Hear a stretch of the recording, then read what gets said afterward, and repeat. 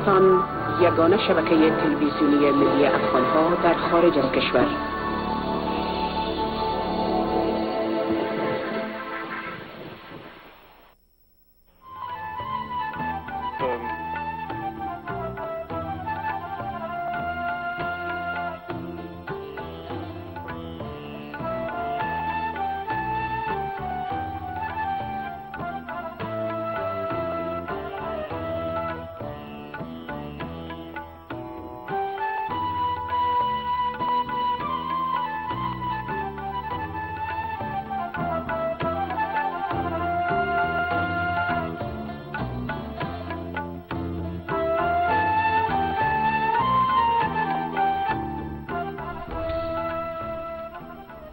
درخت غم به جانم کرده ریشه.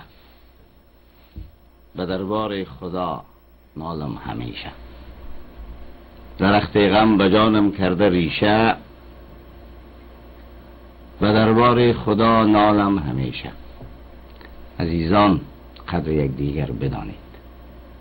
عجل سنگ است و آدم مثل شیشه.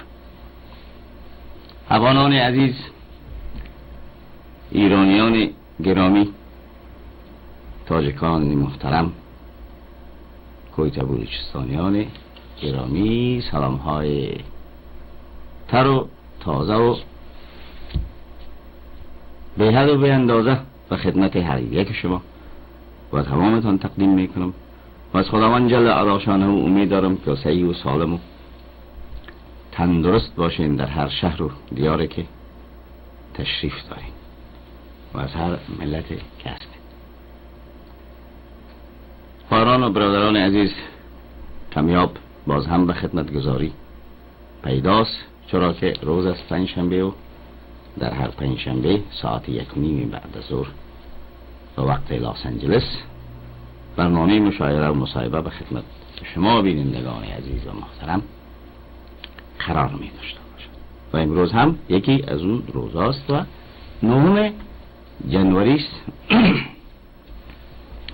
که نمی‌دانم که مصادف میشه به نهم جنوری 2014 که نمی‌دانم که مصادف میشه به کدام روز ماه دلو. اما این روز برای بنده یک روز بسیار سه سال پیش یک روز بسیار غمناک و خود بنده فوق العاده غمگین. چرا که به خدمت از برسانم دوستان بسیار محترم یک رفیق بسیار صمیمی و قدیمی و دوست داشتنی خودم. من در عرض یک ساعت از دست دادم. یک جوان مرد که واقعا انسان روش یک اسم جوان مرد گذاشتن می‌توانست. امروز سیومین سال وفات ایشان است. دوستان بسیار عزیز و ارجمند می‌خوایم که راجعی به دوست خود بر شما که چهار کلمه صحبت کنم. اما خدمت ارز کردیم که این شخص بسیار جوان مرد بود. جوان مرد به خدمت شما دوستان برز برسانم که جوان مردی یعنی چی؟ چیزی که بزرگان در کتابا نوشتن. نوشته های بزرگان به خدمت شما می‌خوان. یک کتاب از نام قابوسنامه. در قابوسنامه نوشته است جوان مردی بینندگان بسیار عزیز و ارجمند و اشخاصی که می‌خوان که جوان مردی کنن جوان مرد باشن چی خواست داره جوان مردی در کتابت نوشته از دوستان که ای پسر اگر جوان مردی ورزی.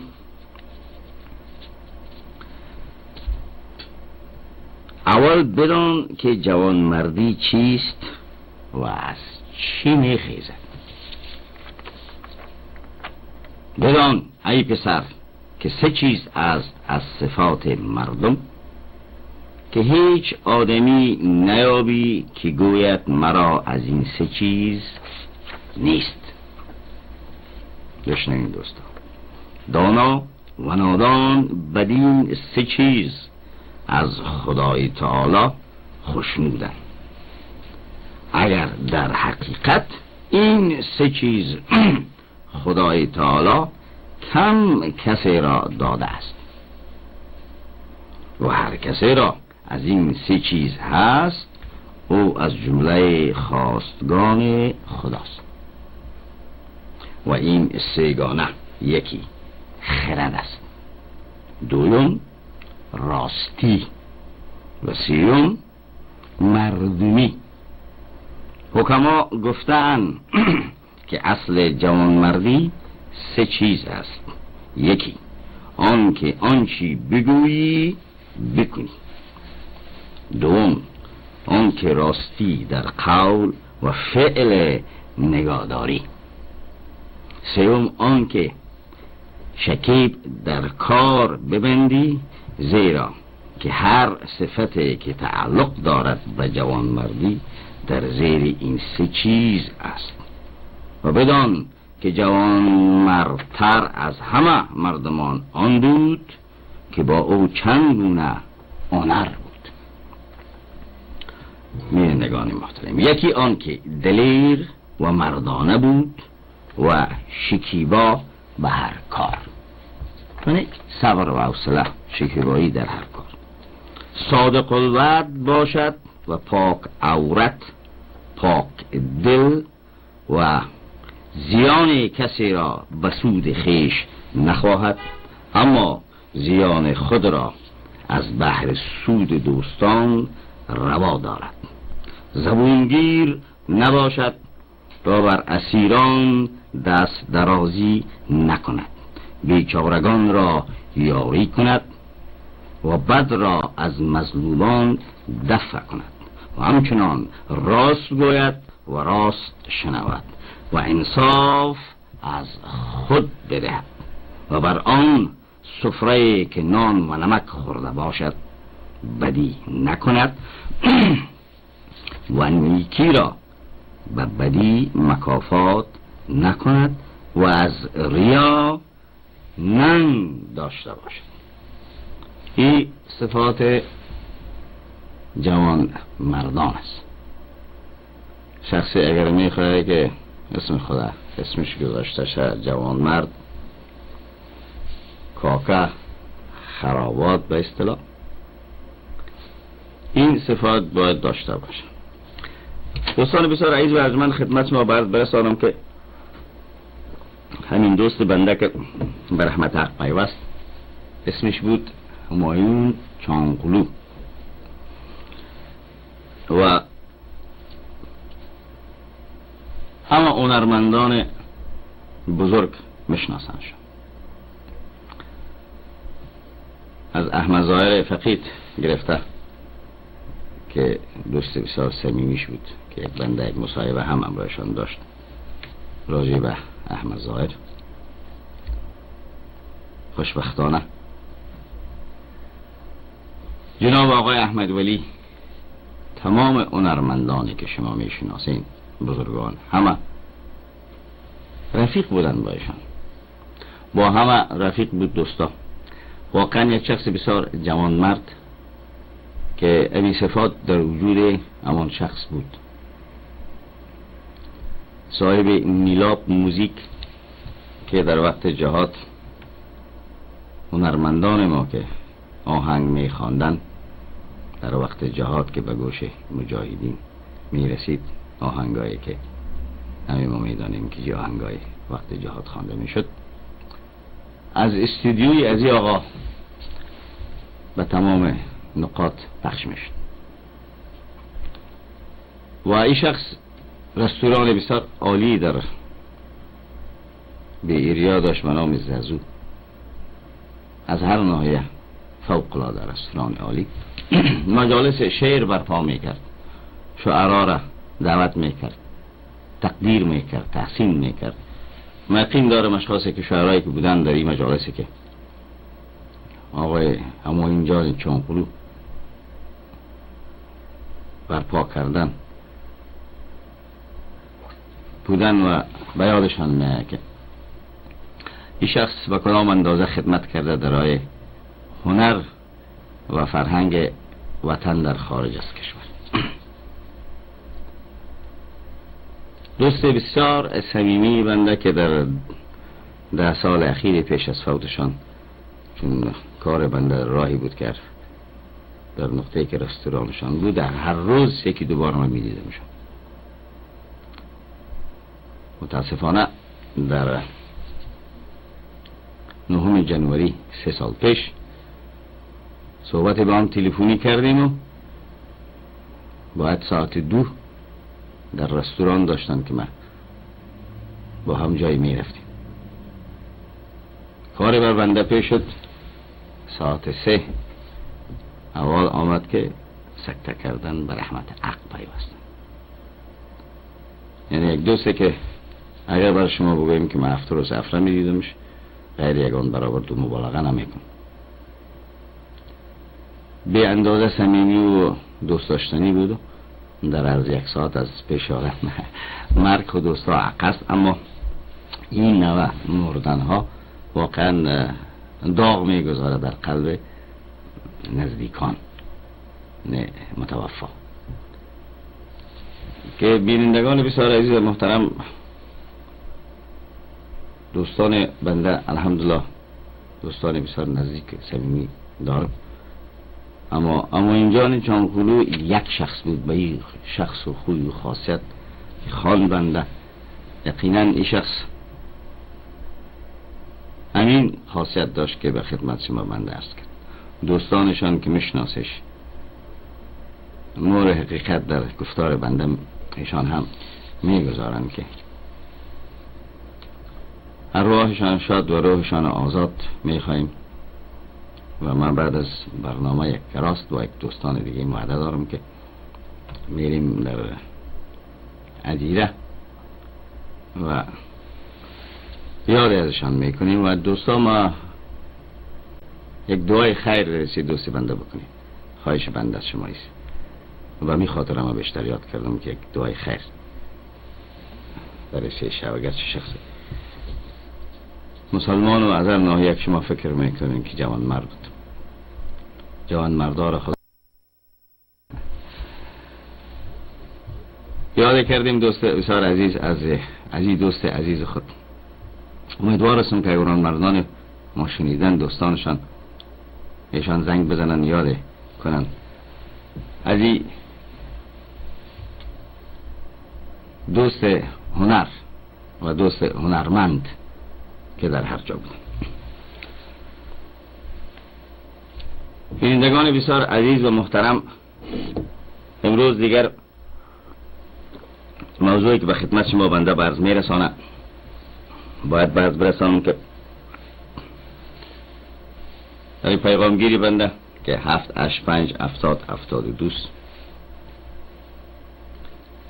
بانو پروین قاریزاده مسج گذاشته بودن برنده را به خاطر به خاطر بنده آورده بودن که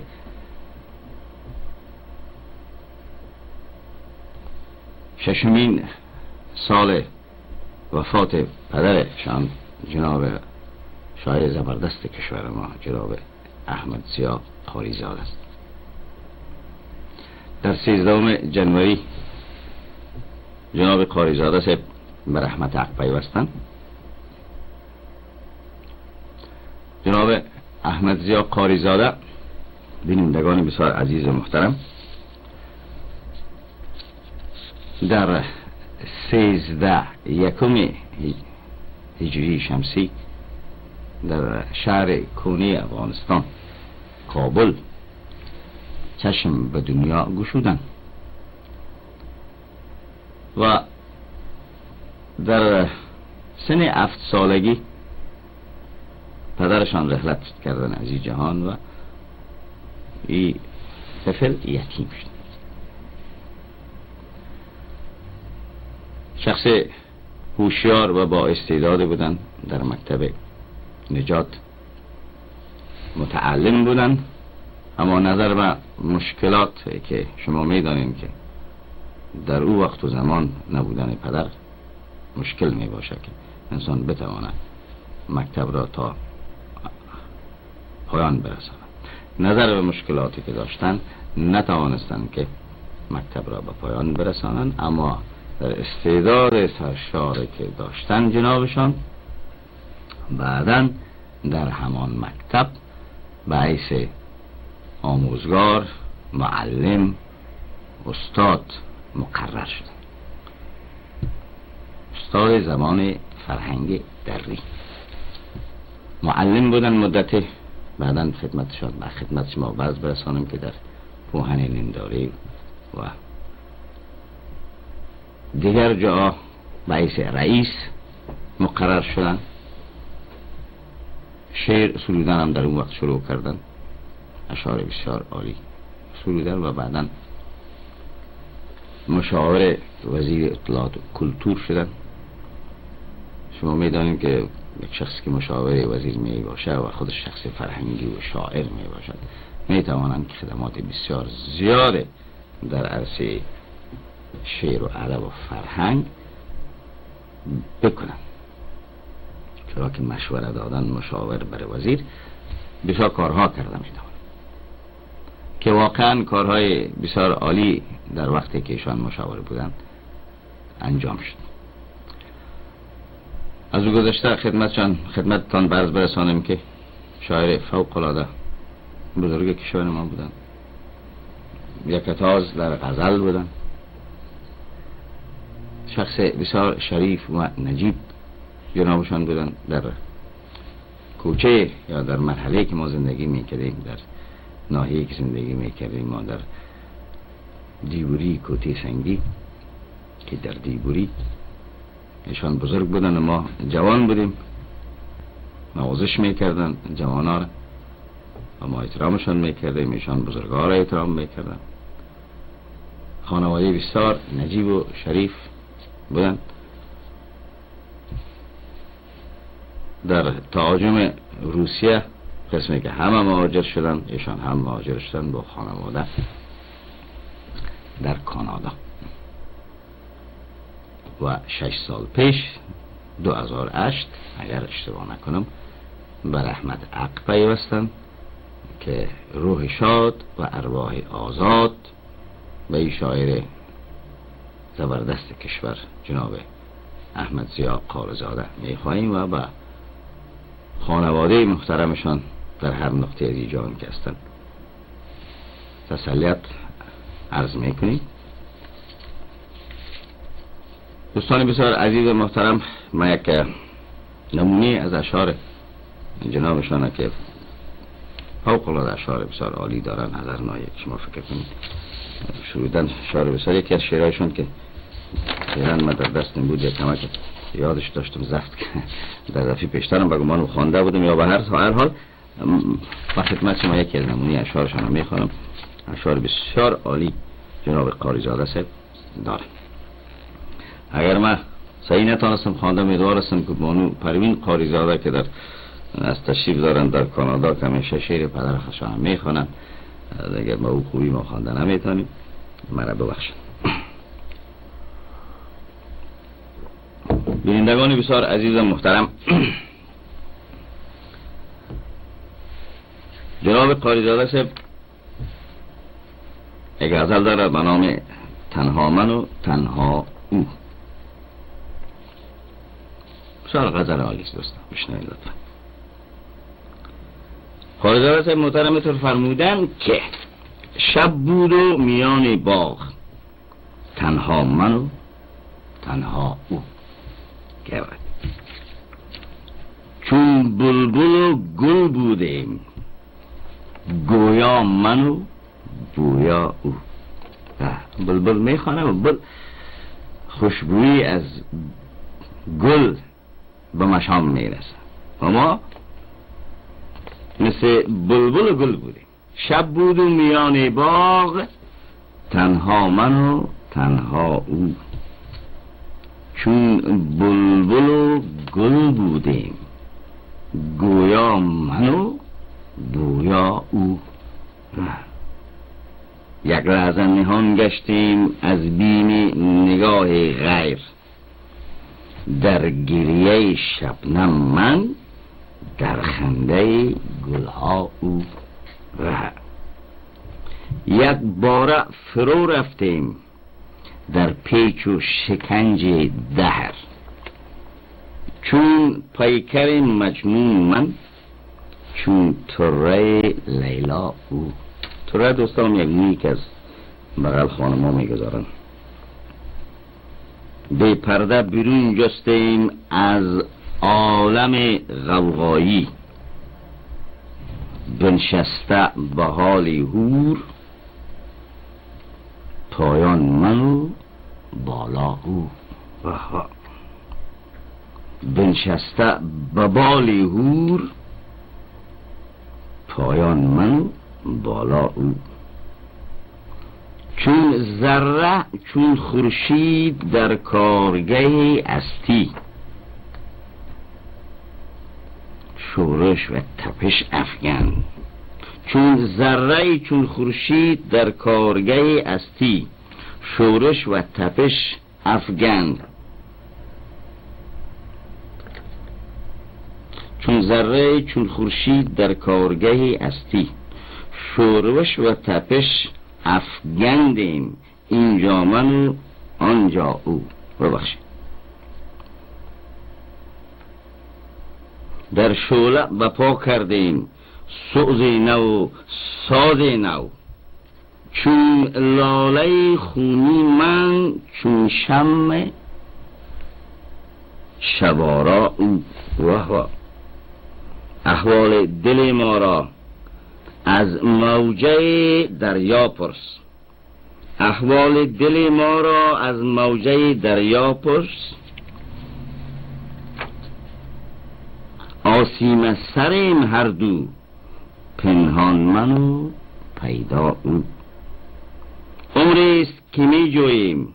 چیزی رو نمیابیم در ساحل حیرتمند در دامن دریا. او من از روی کتابشان یک فوتوکاپی کردم در موقعی آخر که می آمدم ورخطایی یکان جایز فوتوکاپی تو صحیح چاپ نشده بود. از او خاطر از در خواندن از پیشم چی شد؟ ببخشید بیزندگان بسیار محترم دیگه اگه با نام اسی نمیزه یه سر وگه شام بودم. بود برحال باز هم تسلیت از می‌کنیم به خانواده و این شاعر زبردست ما که خدمتان است کردیم و شعرش چه خراب خواند بینندگان بسیار عزیز و محترم و خدمت شما امروز یک داستان است که ما قسم می‌کنم که بعدا ای به شعر سروده شده از یک زبردست استاد و شاعر و هر نامی که سرش بگذاریم جناب استاد خانلری استاد بزرگ ایران زمین. دوستان بسیار محترم شعر طولانی است دوستان. مصنوی است. تقریبا افتاد اشتاد بیت است. اما بشنوین دوستان. اگر دقت کنین از شروع داستان شعر متوجه باشین تا آخر پر کیف است. امیدوار هستم که من بخوانم ایستایی بینندگان بسیار عزیز و گرامی شما خو می‌دانیم که این داستان قصه یک زاغ و عقاب است. شما شنیدین یک تعداد ما همه ما شنیدین بینندگان عزیز و محترم که زاغ از تمام پرنده ها کرده و از انسان و از هر ایوانی که شما فکر می‌کنید عمر دراز داره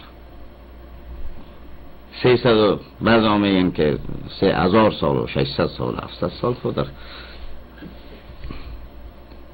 تا جایی که ما خوندیم که سی سد و سی از سی ست سال هم بیشتر عمر می‌کنه.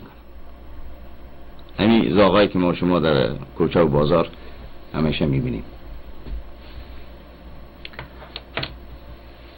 دوستان عزیز و گرامی یک داستان دیگر در ساخت. می‌گوین که چرا دلیل عمر زاغ و چه خاطر است؟ گرچه ای, ای داستان به شعر رب نداره. می‌گوین وقتی که سکندر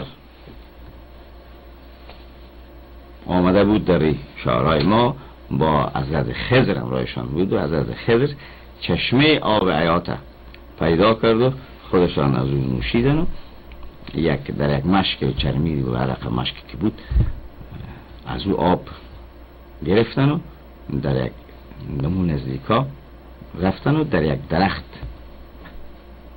همراه خود در یک درخت عویزان کردن بعدا که آمدن که چشمه گم شد از چی پالیدن نیافتن. چشمه آب عیاد سکندر رو حضرت خضر گفتن که ما در یک مشک اویزان کردیم در فلان در یک نقطه که نشانی کرده بود در یک انداز از آب که آمدن میگن زاغ آمده و کدام نول زده دری دری داستان است حتما دری مشک و همون شکاف شده و یک نول که در این مشک خورده کدام قطره یا کدام ذره از یاب در نولش بوده و به مو خاطر در منقار یا نور که میگن ما. به اون لحاظ 300 و 400 و 500 سال زاق عمر ای یک داستان است که باز خزرت خضر هم از اون آب نوشیده بود کتاب حال خضر عیات نبی میگن. یعنی پیغمبر عیات عیات نبی یعنی پیغمبر عمر. دیگر داستان از دوستا که ای, خو ای داستان بود. اما داستانی که فعلا به خدمت شما بنده ای شعر می‌خوانم. این و این شکل از دوستان که اقاب بوده و این اقاب تا وقتی که جوان می باشه در شکار و در عیش و نوش می باشن و در وقتی که اقاب دوستان سی سال عمر می‌کنه ببخشید. زاغ. عمرش بیشتر از سی سال است. اما اقاب نهایتش سی سال است. سی سال عمر می‌کنه عقابی بوده دوستان که فهمیده که وقت مرگش نزدیک است. گفته عیش من نکرده که من قدر سن من کم باشه چطور کنم؟ در صدد علی بر آمده که چاره بسنجه که بتانه زنده باشه از بیشتر در حواس باز میشه روزه که می‌خواه که بر چاره ساختن. میگرد آسمان سه بلند پرواز است و قاب شما بهتر می‌دانید که در این اسنا از یک کشتزار در یک کشتزار از یک نقطه به دیگه نقطه و همه کپک در یک طرف می گریزه و پنهان میشه و مار در یک طرف پنهان میشه و صدای پادبال از این قاب که می‌بره در آسمان. شبان به یک سرسامه را درش می میده و بزغاله بزغاله را که میبرداره که قاب نبرداره. همه میگریزن اما امروز این قاب به فکر از این نیست دوستا که به شکار کنن. به فکر چاره است که برای خود یک راه بسنجه که چطور زنده با سر ای میدان و تای میدان. یک نقطه می‌رسه که می‌بینه که یک, شاخه درخت یک زاغ نشسته. که زاغ سعی می‌کنه یادش میگه که او والله ای زاغ همون زاغ است که پدر کلان ما گفته بود که از گیر ما در شکاری چندین بار با یک هزار چالاکی و چوتاری و بهانه گریخته بود. آواده مردن برای من گفتن که پدرم که که راز از این زندگی را از این پلید پیدا کن. آمد پیش از او با یک سرعت سرساماور پایین آمد. با که ای باشه دیدی سوی قاب دید بسا ترسید خود جمع کرد. نزدیکی شد گفت صدا که نزدیک زیاد نامد که نترسانی گفت صدا کسرش که او که ما سرطی بسیار جبر و ظلم کردیم اما من امروز نترس کار دارم. زاغ برش گفت که